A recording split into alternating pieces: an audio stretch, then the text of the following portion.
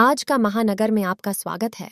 बीते 8 अक्टूबर को मुम्बरा कौसा में शिव शौर्य यात्रा गुजरने के दौरान संजय नगर में कुछ विवाद हुआ था, जिसमें शंकर मंदिर परिसर के रहने वाले ठाणे जिल्हा भारतीय जनता पार्टी के उत्तर भारतीय मोर्चा के उपाध्यक्ष जगदीश मिश्रा का एक बयान सामने आया है, जिसमें उन्होंने कहा है कि फ़ायदे में रहोगे तो कायदे में रहोगे, पर उनके बोलने का तात्पर्य ये था कि कायदे में रहोगे तो फ़ायदे में रहोगे।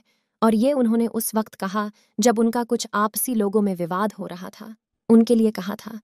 पर सोशल मीडिया पर उसको ऐसे बताया गया जैसे कि वो मुम्बरा कौसा के मुस्लिम लोगों को कह रहे हैं कि कायदे में रहोगे तो फ़ायदे में रहोगे, जिसके कुछ दिनों बाद इस बात को लेकर विवाद बढ़ने लगा।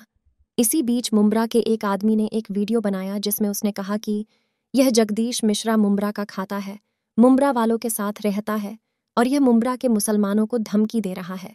जिस पर उसका एक मित्र है साजिद, उसने उसके दुकान पर जाके इस पूरे गलत फहमी को दूर करा।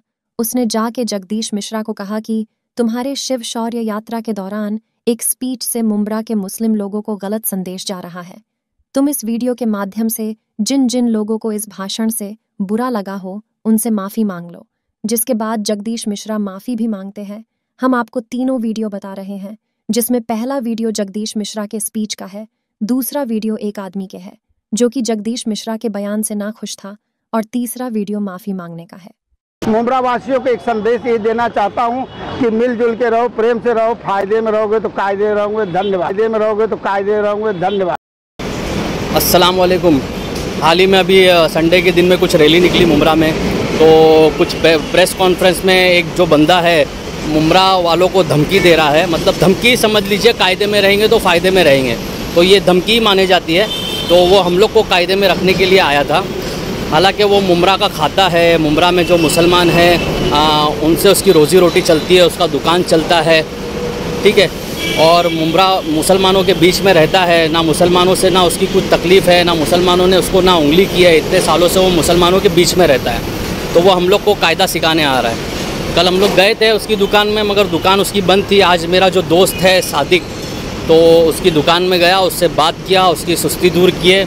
आगे की क्लिप में मैं डाल रहा हूँ, उसकी क्या सुस्ती दूर किए, क्या बात हुई, ये सारी चीज़ें मैं आपको आगे की वीडियो में मैं डाल रहा हूँ, आप देखिए।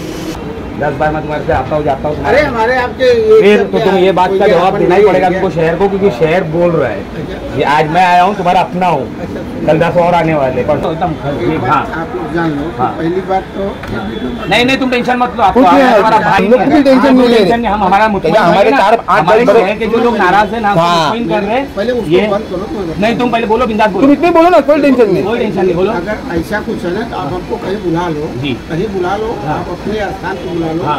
आप लोगों के बीच में बुला लो मैं बैठ के सबके सामने प्रेम से आपको प्रेम से बोलने की ज़रूरत ही नहीं सुनो ये जो क्लिप है मेरी बात सुनो आप मेरे हाँ दोस्त का है आप मेरे दोस्त भी हो आप अच्छे मिनट, है। एक मिनट एक मिनट आप मेरे दोस्त भी हो पुराने मेरी बात तो सुनो और पुराने पाँच साल से हमारे रिश्ते हैं बराबर? तो तुम्हारे को हमारे से तकलीफ़ हुई? नहीं हुई। कभी नहीं होगी। कभी नहीं होगी। ना होगी। तो तुमने ये अल्फाज क्यों यूज़ किए कि मुमरा वालों कायदे में रहो तो फ़ायदे में रहो?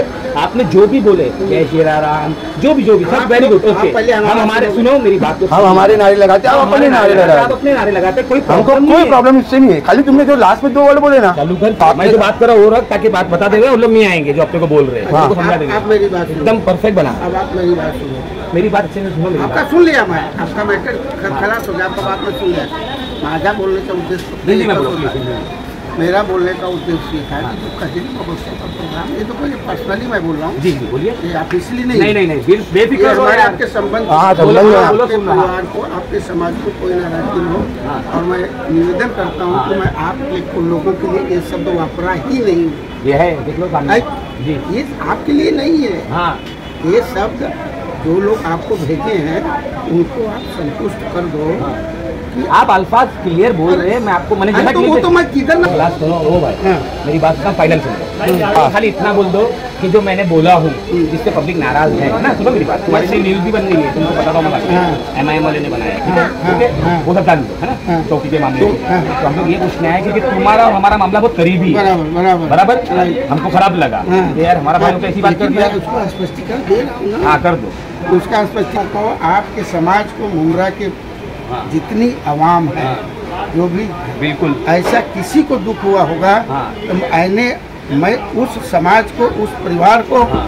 और पूरे मुमरा से हाँ। मैं हाथ जोड़ के निवेदन करता हूँ कि अगर किसी को ये शब्द बुरा लगा हो बुरा लगा। मैं तहे दिल से और हृदय से मैं आप लोगों से माफ़ी चाहता हूँ कि ऐसा शब्द मैंने किसी भी मुमरा वासियों के लिए नहीं बोला है ठीक है ओके ओके मैं जगदीश प्रसाद मिश्रा भारतीय जनता पार्टी उत्तर भारतीय मोर्चा थाने उपाध्यक्ष शंकर मंदिर में रहता हूँ। आज सुबह मैं जब अपने दुकान पे गया तो दो आदमी मेरे मित्र बनकर मेरे पास आए। आप मेरे दोस्त भी हो पुराने। मेरी बात तो सुनो और पुराने पाँच साल से हमारे रिश्ते हैं उन्होंने बोला कि कायदे में रहोगे तो फ़ायदे में रहोगे इसका मतलब क्या? तुमने ये अल्फाज क्यों यूज़ किए? मुमरा वालों में रहो तो फ़ायदे मैंने उनको एक्सप्लेन किया कि थोड़ा एक दस पंद्रह दिन पहले हमारे यहाँ कजरी का महोत्सव शंकर मंदिर में हम लोगों ने किया था, जिसमें प्रमुख रूप से उत्तर भारतीय मोर्चे के बैनर के नीचे कचरी हुआ था। तो उसमें कुछ अपने लड़कों ने नोक झोंक किया था, तनाव की स्थिति पैदा की थी। उन लड़कों के लिए मैंने बोला था, फ़ायदे में रहोगे तो कायदे में रहोगे। तो कुछ अपने ही लोग ऐसा भर दिए थे कि यहाँ गाड़ी नहीं रुकेगी, यहाँ गाड़ी नहीं रुकेगी। देश ये देना चाहता हूँ कि मिलजुल के रहो, प्रेम से रहो, फ़ायदे में रहोगे तो कायदे में रहोगे। गत रविवार को छत्रपति शिवाजी महाराज की यात्रा निकली थी। उस यात्रा में हम लोगों ने बहुत बढ़ चढ़ के हिस्सा लिया था। जब रथ पे चढ़ के हम लोग शंकर मंदिर पहुँचे वहाँ पे वही लड़के लोग कुछ ऐसा तनाव की स्थिति पैदा किए कि सबको गाड़ी से उतारो। तो मेरे दिमाग में था ये बात कि आपस के लड़कों को ये सब बातें आपस में नहीं करनी चाहिए, क्योंकि सब एक हो, आपस के हो। बात कही कि कायदे में रहोगे तो फ़ायदे में रहोगे, ये मैंने उन लड़कों के लिए जो आपस में तनाव पैदा करना चाहते थे। देश ये देना चाहता हूँ कि मिलजुल के रहो प्रेम से रहो फ़ायदे में रहोगे तो कायदे रहोगे तो जब मेरे दुकान पर आए तो मैंने उन लोगों को ये बोला ये वीडियो आप लोग बनाओ मत। पहले उसको बंद करो पहले उसको बंद करो पहले ये- बंद करो। मेरे मित्र बनकर आए थे उसके बावजूद उन लोगों ने मेरा वीडियो बनाया और काट छांट कर इसको चलाने की कोशिश किया, चलाया भी और किसी विशेष समुदाय को मेरे खिलाफ या मेरे मान सम्मान के खिलाफ षड्यंत्र रचने की कोशिश की जा रही है। अस्सलाम वालेकुम हाल ही में अभी संडे के दिन में कुछ रैली निकली मुमरा में। तो कुछ प्रेस कॉन्फ्रेंस में एक जो बंदा है मुमरा वालों को धमकी दे रहा है। मतलब धमकी समझ लीजिए कायदे में रहेंगे तो फ़ायदे में रहेंगे। तो ये धमकी मानी जाती है। तो वो हम लोग को कायदे में रखने के लिए आया था। हालाँकि वो मुमरा का खाता है मुमरा में जो मुसलमान है आ, उनसे उसकी रोजी रोटी चलती है उसका दुकान चलता है। ठीक है? और मुमरा मुसलमानों के बीच में रहता है। ना मुसलमानों से ना उसकी कुछ तकलीफ़ है ना मुसलमानों ने उसको ना उंगली की है। इतने सालों से वो मुसलमानों के बीच में रहता है। तो वो हम लोग को कायदा सिखाने आ रहा है। किसी समुदाय के खिलाफ भड़काने की कोशिश की जा रही है और मेरे सही वीडियो को न चला के मेरे ही मित्र उसको काट छाट के चला रहे हैं। ओके? ओके। ओके? ओके। उनके मित्रता को लेके मैंने माफ़ी मांगी क्योंकि मित्रता बची रहे। मेरी बात का फाइनल सुनो। खाली इतना बोल दो कि जो मैंने बोला हूँ जिससे पब्लिक नाराज़ है ना? सुनो मेरी बात। तुम्हारी से न्यूज़ भी बन गई है तुमको पता होगा एम आई एम वाले ने बनाया है, ठीक है? वो सब डाल दो है ना? चौकी के मामले तो हम लोग ये पूछने आए क्योंकि तुम्हारा और हमारा मामला बहुत करीबी है। बराबर बराबर। बराबर? हमको खराब लगा। यार हमारा भाई तो ऐसी बात कर दिया। हूँ। हाँ कर दो। उसका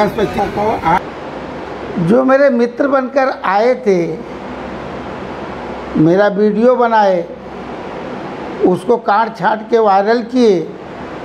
ये मित्रता निभाने के लिए मैंने माफ़ी भी मांगी। आपके समाज को मुमरा के जितनी आवाम है जो भी बिल्कुल। ऐसा किसी को दुख हुआ होगा हाँ। तो मैंने मैं उस समाज को उस परिवार को और पूरे मुमरा से हाँ। मैं हाथ जोड़ के निवेदन करता हूँ कि अगर किसी को ये शब्द बुरा लगा हो बुरा लगा। तो मैं तहे दिल से और हृदय से मैं आप लोगों से माफ़ी चाहता हूँ कि ऐसा शब्द मैंने किसी भी मुमरा वासियों के लिए नहीं बोला है। ओके? ओके। और माफ़ी मांगने वाला बहुत महान होता है। माफ़ी मांगने वाला छोटा नहीं होता।